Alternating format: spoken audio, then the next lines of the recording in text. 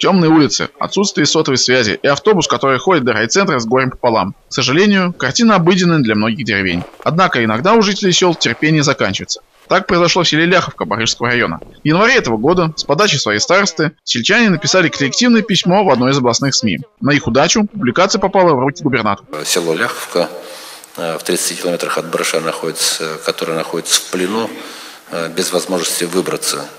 В селе накопилось огромное количество проблем, власти их не слышат. Одна надежда на общественность. Вот они и пишут. У нас отменили рейсовый автобус э, Барыш-Ляховка который ездил к нам два раза в неделю. Теперь нам не на чем доехать в больницу и по делам с документами. Да и просто выехать за продуктами или лекарствами нет возможности. Если вызвать такси, то это тысяча рублей в одну только сторону. А у нас у сельских нет таких денег. Другая проблема, в селе нет уличного освещения. В селе сотовой связи нет. Вызвать скорую помощь или пожарных, или полиции они не могут. Сельчане обращались в администрацию Барышского района, но, как они утверждают, ничего не изменилось. Чиновники прислали официальный ответ, в котором пообещали выполнить свои обязанности по обеспечению транспортом и связи. Но такие ответы они присылают каждый год, а дела, а, а дел нет. Но вдруг жители села преувеличили свои проблемы. Для того, чтобы разобраться в ситуации, мы решили отправиться туда сами. Минувший понедельник название села Ляховка Барышского района стало известно всей области. О его проблемах на аппаратном совещании сказал губернатор Сергей Морозов. Мы приехали в это село, чтобы проверить, действительно здесь все так плохо, как говорилось в письме. На первый взгляд может показаться, что как минимум проблем с освещением в Ляховке нет. Фонари висят едва ли на каждом столбе, но уже скоро выясняется, в Ляховке их можно считать только украшениями. Работают из них только два, да и то только в центре села. Остальные, как говорят местные жители, не светят с момента основания Ляховки. Поэтому вот уже много лет с наступлением темноты и до рассвета людям приходится пробираться по улицам с фонариками. Зимой еще полбеды, со снегом не так темно, а вот весной и осенью это кромешная мгла глава поселения вам пообещал еще в январе сделать В, в конце да? декабря. Ага. Да, было, было собрание у нас в этом правлении. И пообещали в конце декабря сделать. Но после отказался. Я, говорит, таких слов не говорил. А народу было очень много. О том, что фонари ляховцам обещали к концу декабря, рассказывают и другие жители села. Однако глава Измайловского городского поселения Александр Винокуров говорит, что об этом речь не шла. Сначала он пообещал фонарик 1 октября, а потом до конца первого квартала 2017 года. А дело все в том, что они никак не могут передать два единственных светильника с баланса местного СПК на баланс поселения. Правда, нам Александр Винокуров все-таки назвал примерные сроки освещения ляховки. Сейчас вот технические условия нам отдали, да, вот сейчас мы, просто я ездил и в Бессе был, да, вот так прием передачи балансовый, заявление о переправлении технологического подсоединения.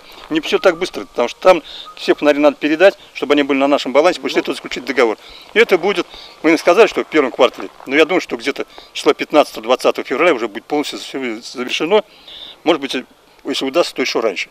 Вторая беда Лярвки – это связь. Она там присутствует лишь номинально. Сотовый ловит только в некоторых местах, поэтому мобильные телефоны у жителей деревни не лежат в карманах, а висят на окнах. Там, где связь хоть иногда, но появляется.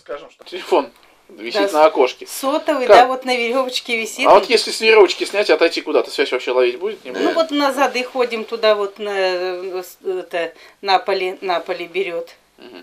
А если скорую вызывать там или милицию, ну как?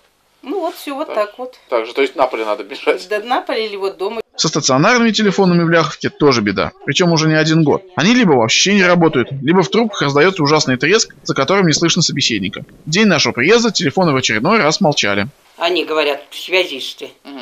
И все время звонишь, там шум, и отключаться без конца, и ломаться без конца, без конца. Вот сейчас вот ремонт видно видно. И давно так? А? Давно так?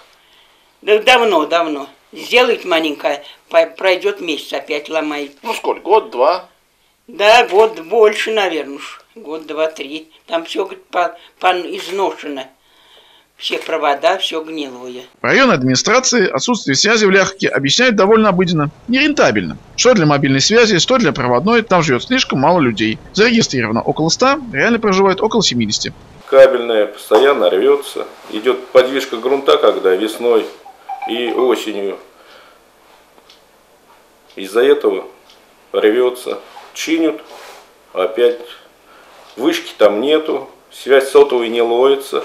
А не, плани... нас... не планирует никто там ставить? У нас Чё? таких сел много, где не работает сотовая связь, потому что селы с малым количеством проживания, более 300, 300 от 300 и выше, там ставится вышка, операторы идут там, где им тоже выгодно будет доход какой-то, из-за этого там не планируется. Разговоры про рентабельность в конце концов могут привести к тому, что в Ляховке произойдет трагедия, если ее жителям не удастся вовремя вызвать скорую, пожарных или полицию. Что касается отсутствия транспорта, то в день нашего приезда в село в Ляховку впервые за полтора месяца приехал автобус «Газель» частного перевозчика. Правда, селян пугает то, что маршрут этот назвали пробным. Если его владельцу покажется, что он опять-таки не рентабелен, то автобуса снова не будет. Именно по этой причине в Ляховку в декабре и перестал ходить транспорт.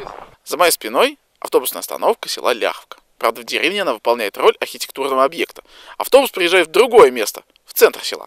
Отсутствие автобуса для жителей Ляховки – это тоже трагедия. Потому что в Барыш периодически нужно попасть всем. Кому документы отвезти, кому в больницу, кому по другим делам. А такси до Барыша, который находится в 20 километрах от села, стоит весьма и весьма недешево. А как добирались, вот, э, пока автобус был отменен? Такси нанимаем.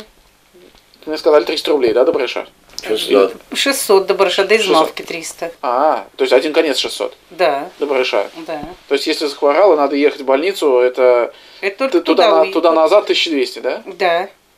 А вот если секрет, а сколько зарабатываете на ферме? Тут тот же скотник Ну. сколько он зарабатывает? Где-то, вот у меня 10 тысяч выходит. Ну, то есть, условно говоря, заболел, десятую часть от зарплаты только Да. на такси отдать Да. надо. да.